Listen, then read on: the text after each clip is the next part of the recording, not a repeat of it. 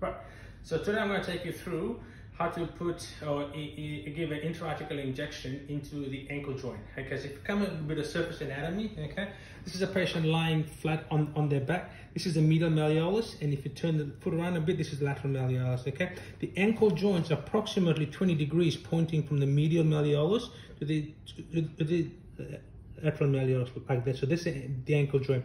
So you, you know from uh, the anatomy that the tip of the medial malleolus, there's the medial gutter, there's the ankle joint, and there's the lateral gutter. So you make your incision or you enter just at the level of the medial malleolus, pointing slightly up towards the side at about 45 degree angle. So here I've given some local anesthetic as you can see. Okay. Here's the local anesthetic that I've given, so she's numb in there.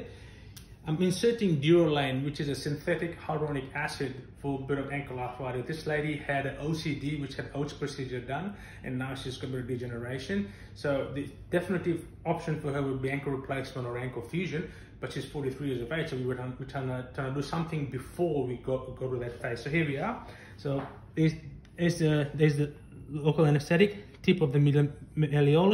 I'm going to angle in here, inside, angle forward, and I can feel bone.